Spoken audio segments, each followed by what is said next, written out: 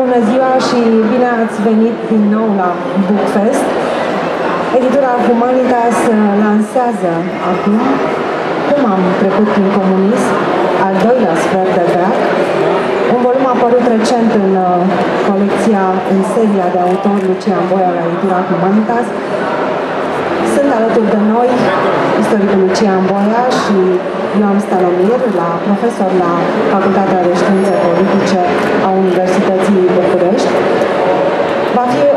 vor vorbi despre această carte într-un fel uh, mai puțin obișnuit, tocmai vorbeam uh, cu dumnealor acum câteva secunde. Va fi un dialog între Ioan Stalomir și Lucian Boia. Cu permisiunea noastră am să-i intră microfonul domnului Stalomir.